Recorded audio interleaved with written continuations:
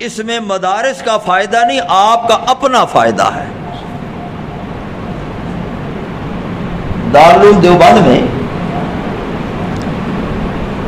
जो बानी दारुल देवबंद हैं, हज़रत मौलाना कासिम नानोतवी रहमत इस्लाम। तो आपके पहले शागिर्द हैं हज़रत शेख हिंद मौलाना महमूद हसन साहब।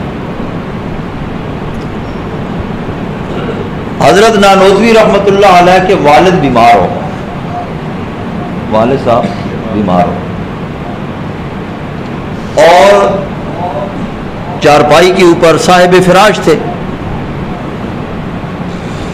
तो हज़रत नानोतवी रहमत ने अपने इन शागिर से कहा कि भाई, मैं मदरसे में मसरूफ़ होता हूँ पढ़ाने के लिए तो तुम पीछे मेरे वाले साहब की तीमारदारी किया करो, देखभाल करना तो हज़रत शेख हिंद जो थे, उस वक्त तो शेख हिंद नहीं थे, तालब इलम थे, महमूद थे। महमूद हसन। तो आपने फरमाया कि मौली महमूद हसन, तुम मेरे वालिद की देखभाल कर। तो आप मदरसे में चले जाते। तो हज़रत नानोतवी के वालिद साहब को बीमारी थी एक दिन उनका पेट खुल गया, मोशन लग गया।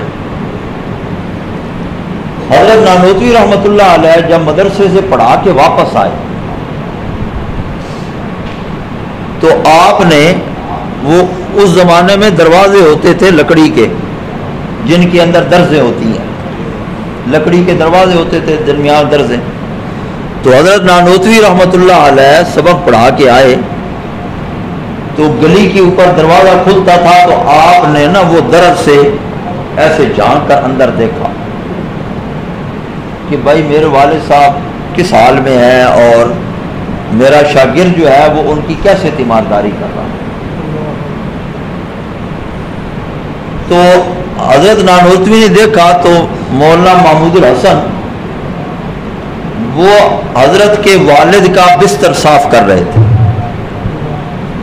हज़रत नानोदवी के वालिद, जैसा कि मैं अर्ज़ किया कि उनको मोशन लगे हुए थे तो उनका पेशाब बिस्तर पर ही निकल गया।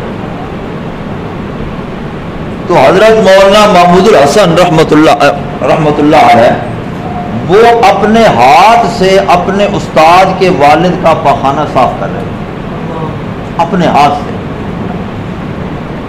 हज़रत नानोदवी ने जब ये देखा तो आपकी आँखों में आँसू आ और उसी वक्त खड़े खड़े हज़रत नानोतवी ने यूँ अपनी झोली उठाई।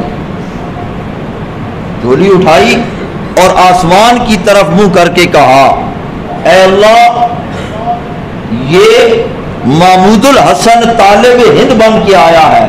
अल्लाह तू इसे शेख और हिंद बना ये क्या बन के आया है? तालिब हिंद बन के आया है। तू इसको शेख और हिंद बना दे। फिर बन गए। ये है उस्ताद का अदब। ये है उस्ताद का एहतराम। ये है उस्ताद के मुतालिक वालिद की खिदमत और फिर उसका ये सिला। ये कहाँ सिखाया जाता है? कॉलेज में? यूनिवर्सिटी में? वहाँ तो तालब इलम अपने उस्ताद के सर पर डंडे मारता है। वहाँ प्रोफेसर साहब पढ़ा के निकलते हैं, पीछे आवाज़ें कसते हैं। वहाँ टीचर पढ़ा के जाता है, उसके तरह तरह के नाम रखते हैं। खा के। लमाएगा ये हमारे जितने भी इदारे हैं, वहाँ कोई इंजीनियर बनता है, कोई डॉक्टर बनता है, कोई वकील बनता है, कोई सियासतदान बनता है, कोई साइंसदान बनता है। सब कुछ बनते हैं, मगर इंसान नहीं बनते। इंसान कहाँ बनते हैं? मदारस में। यहाँ डॉक्टर नहीं बनते, यहाँ इंजीनियर नहीं बनते, यहाँ वकील नहीं बनते, यहाँ कानूनदान नहीं बनते। यहाँ कौन बनता है? इंसान बनते हैं। इसलिए वह है। इंसान क्यों बनते हैं? इंसान किससे बनते हैं? तजकिया नफ से बनते हैं। इंसान इंसान तजकिया नफ से बनता है।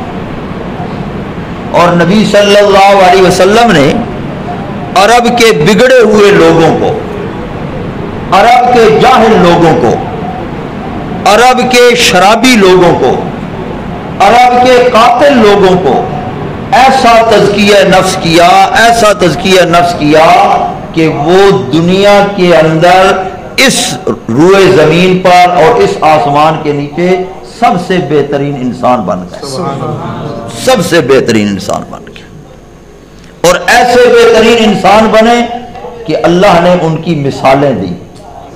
अल्लाह ने उनके नमूने पेश किए। अल्लाह ने उनकी बाद में आने वालों को बताया कि तुम भी इन जैसे बनोगे तो तुम्हारी कामयाबी होगी। यह है तजकिया नफ्स। रसूलुल्लाह सल्लल्लाहु अलैहि वसल्लम